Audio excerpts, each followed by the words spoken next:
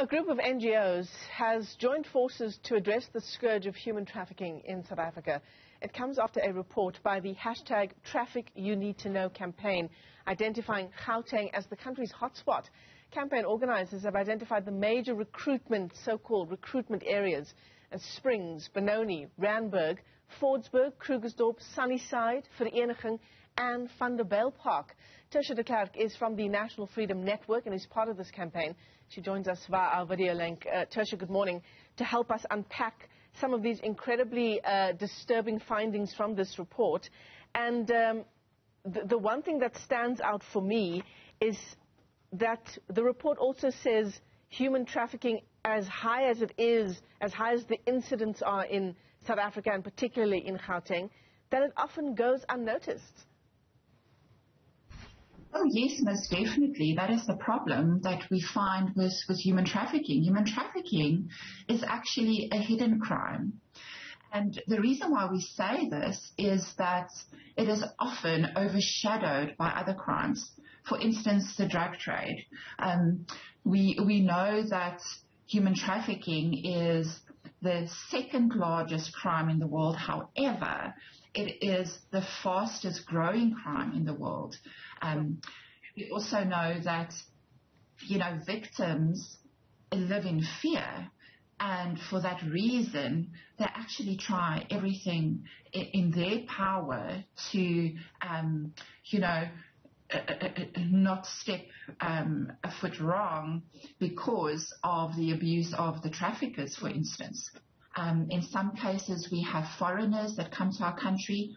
They are actually lured into our country in many cases because of fake job offers. And then what is done by the traffickers is um, their identification documents are taken from them. And that already causes so much fear because they are then threatened that they will be reported to the authorities if they do not cooperate. Mm. And then, of course, there is, um, you know, um, threatening their lives, threatening the lives of their loved ones. So there are so many aspects that actually makes this hideous crime a hidden crime. Tershia, uh, the fastest growing criminal industry in the world, also generating more than 250 trillion rand per year. So when we say human trafficking, and you've already touched on it um, with the description around people being given these fake job offers, but what form can it also take? What other forms can it also take? Oh, yes, that is very important for us to discuss. Thank you for asking that. So human trafficking takes on so many faces. In most cases, when we talk about human trafficking, the first thing that comes to mind is sex trafficking, labor trafficking, people trapped in containers and shipped over um, borders. Those are cases that most definitely does happen. But when you talk about containers filled with people, I have to say that from our intel on the ground, those are the minority of the cases. So the faces of, of human trafficking are the following. Besides sex trafficking and labor trafficking, we also have domestic servitude, which is something that is absolutely rampant in South Africa. So domestic servitude is when a, a person comes across or is a domestic servant, whether a cleaner, a gardener, a, a cook, but they are living under very harsh circumstances. They are being either exploited, abused, or manipulated. And they are working for a ridiculous wage or they are working for no wage.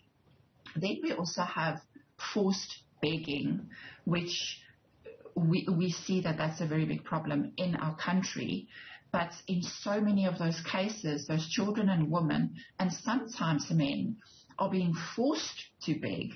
If they don't go back to their traffickers, there is some form of punishment if they don't bring back money or food. Um, then we also have a situation called bacha bazi. Now, bacha bazi is what they call boy play. Boy play is when um, young boys are taken by older men for entertainment. They dance for the men and they provide um, so-called sexual pleasure. Then we also have forced illegal activity. Um, and this just shows you how human trafficking is intertwined in just about everything, all crimes that we see within mm. our country and globally. Mm. And then also, of course, we have um, uh, baby harvesting, organ harvesting, um, and in, in some cases, there's also snuff movies, which for those who don't know, um, the person is trafficked and they are used um, for being um, uh, um, um, killed online on the dark web. Sure. So human trafficking has so many faces and it's very wide. Yeah, it's so, for that reason. It's so incredibly disturbing, isn't it? I mean, everything you've just just outlined, um, and it depends, I suppose, Tershia, on people not having any other alternative, of people having very little in terms of other options available to them, particularly the um, issues you've pointed out insofar as domestic servitude is concerned and forced begging. Yes. Yes, most definitely. I mean, it, there are obviously so many aspects that can lead to a person being trafficked. And with human trafficking, what we have to remember is traffickers prey on people's vulnerabilities. So what is a vulnerability? It is unemployment, um, or the, the, the, the, strong need for a man especially to, to take care of his family. Um, a vulnerability can be I'm heartbroken um, and I'm spilling the beans on social media and the traffickers are extremely active on the internet and social media. If, if, if, if you if you're a broken person and you are sharing with with um, people you've befriended on social media and it's a stranger, you do not know who you're speaking to. Mm. Um, with social media, you can actually be anyone you want to be. Yeah, um, yeah. And it, it can be a dream. Traffickers exploit people's dreams, like we've seen. Fake job offers, um, fake modeling contracts. Um, we've seen in South Africa specifically so many boys um, from rural areas that are lured um, into um, being trapped by a fake soccer contract. Sure. So it is exploiting people's vulnerabilities and we all have to be careful because we, we all have vulnerabilities. Yeah. So we have to be, first of all, um, responsible online users and be very careful what we share online. Um, you know, when, when you take a photograph with your cell phone, um, I do it. It's fun. Um, the selfie thing is also such a such an in thing and a fun thing. Taking photographs of our children because we we're proud it's their first day at school. Um, that photograph has so much metadata attached to it especially if your location is on. If your location is on and you're taking photographs, that location can be hacked very easily and the hacker does not have to be a experienced hacker. Um, often we give away so much, um, you know, personal information on, on photographs, such as the badge on your child's um, school mm, uniform. Mm give away what yeah. school they go to. Just the background of a photograph can give away a lot. So yeah. just need to be a bit more vigilant and careful what we share online as well. Yeah, absolutely. Uh, photographs of your home that may uh, well give away your address is another example.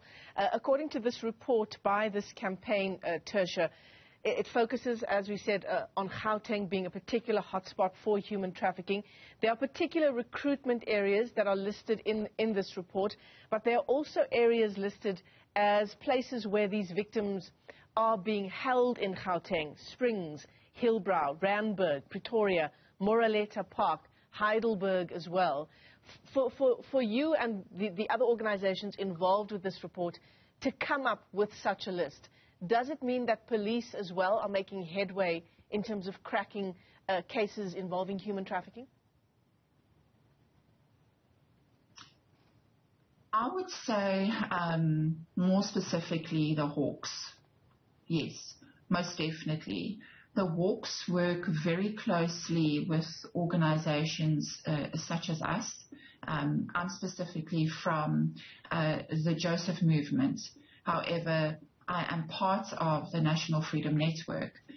But when it comes to our national human trafficking hotline, um, they are the main people where that we need to contact as um, civil society when there's a problem, when or when you suspect any um, um, suspicious activity, or when you're truly aware of a trafficking situation taking place. Yeah. So um, they are the main people within South Africa to, to contact.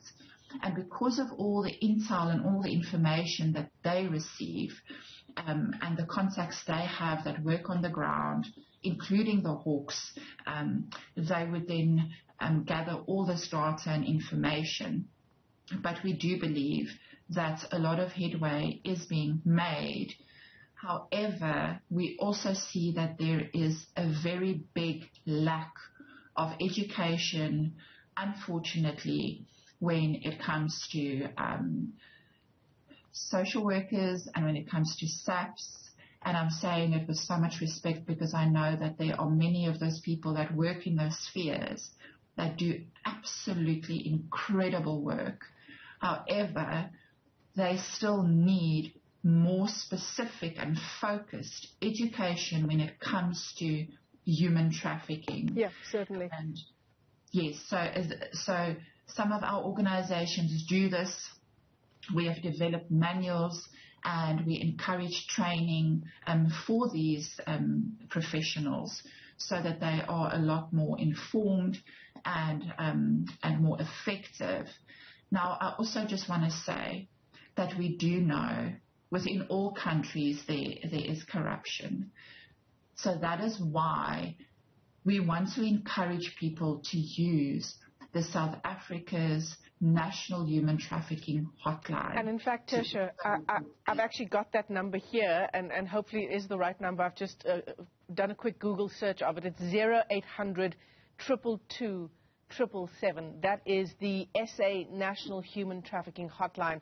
Uh, this group of NGOs joining forces to address the scourge of human trafficking in the country. We are told Gauteng is a particular hotspot. Tershia de Klerk, let me thank you for your time this morning. The National Freedom Network is the organization Tershia is with.